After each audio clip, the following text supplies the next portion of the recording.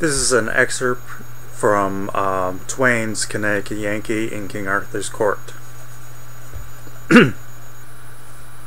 Training. Training is everything. Training is all there is to a person.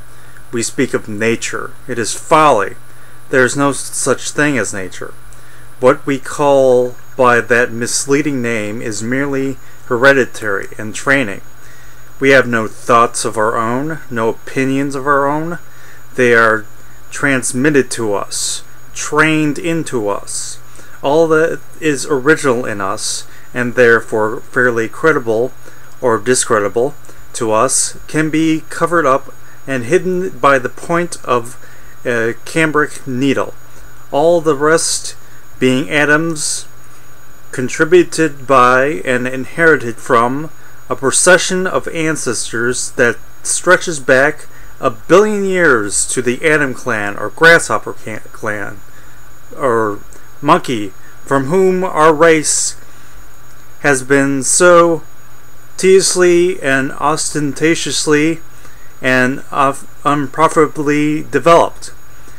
And as for me, all that I think about is this plodding, sad pilgrimage, this pathetic drift between the eternities, is to look out and humbly live a pure and high and blameless life, and save that one microscopic atom in me that is truly me. The rest may land in Sheol and welcome for all I care. Now, a couple things I want to talk about. First, we, when, you know, sometimes when we think about Clemens or Mark Twain, um, we sometimes think about the humorous levels. And, you know, to extent that's true. And, you know, in this book there are humorous elements. But in this one especially, there are, as we see, darker elements. You know, and part of this is, you know, he's writing this when he's deep in debt because of his various investments. Um, so you know when we, you know, I notice when there this story is reproduced or bastardized in various movies and whatnot, we kind of forget the darker elements of you know Twain's book. And the other thing is that um, this element of you know people result of training. You know, I think that's very true as it was then as it is now.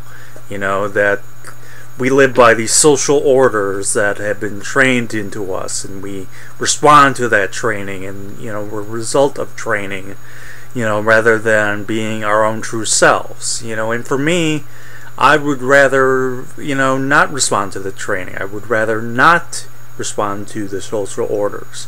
You know I would rather as he says hold on to the atom that is truly me and hold on to that and the rest can you know go so that's, you know, all I wanted to talk about for right now.